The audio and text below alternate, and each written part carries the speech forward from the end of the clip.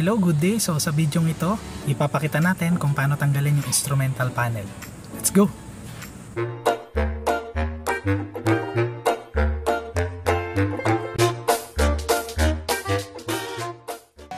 So ayun na nga, papakita natin ngayon yung video tutorial kung paano tanggalin itong ah, instrumental panel para sa mga gusto maglinis nung ah, cover netong gauge natin.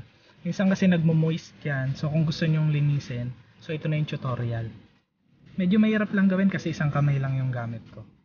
So, una, ibaba nyo muna tong mga shifter dito sa gilid para medyo may space yung kamay nyo. Then na, para mamaya din pagka tinanggal nyo tong pinaka panel, hindi siya sasabit dun sa shifter. Ah, meron meron lock dito yan, dito, tapos tatlo sa taas.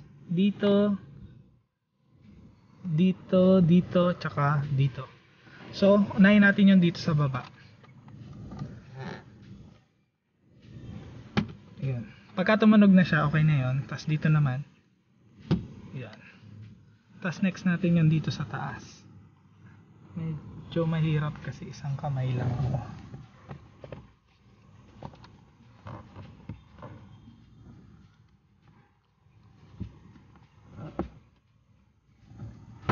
Ayan.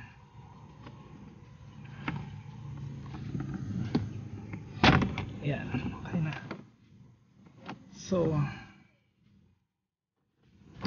yan. Kung hindi nyo binabatong shifter na yan, nakasabit yan. Kasabit. Pati dito sa kabila. So, kaya binaba dapat natin yan. So, natanggal nyo na to. Dito sa pinaka-instrument cluster, meron apat na lock yan. Isa dito, isa dito, tapos isa dito, isa dito. So, hilahin nyo lang dahan-dahan. Yan. Tapos yan dito din.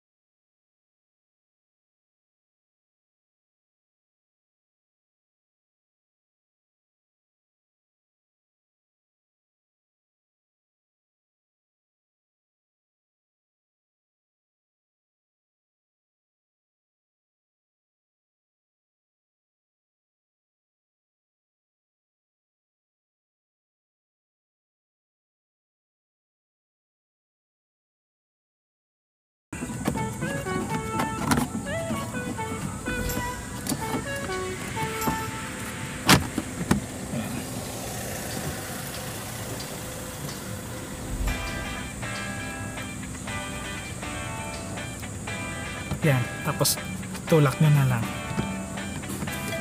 Yan. Tulak nyo na lang para mag-lock. Kung nakatulong tong video na to sa inyo, please subscribe to my channel and like this video. Salamat!